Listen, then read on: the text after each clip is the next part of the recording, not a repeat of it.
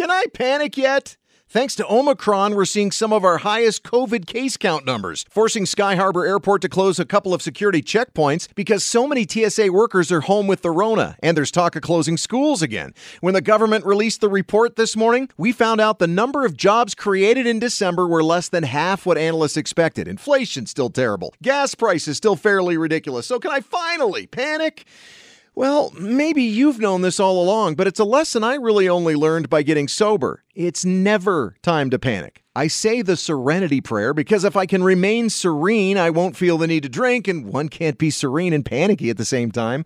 So, how does one stay serene with less than serene economic and public health stuff swirling around us? For me, there's a couple of ways. I remember that the glass isn't always half empty. An example is that while December's job numbers were disappointing, the U.S. economy still added the most jobs in 2021 of any year since we started keeping track. Gas prices might not bounce back soon, but it's really only been a few dollars difference a week for me. And even though COVID case counts are crazy, the Omicron variant also delivers a milder form of the disease, so TSA workers and teachers could be back to work very soon. I can't really put a positive spin on the inflation, so I just remind myself that panicking will have zero positive effects on things that are out of my control, but will have huge negative effects on me.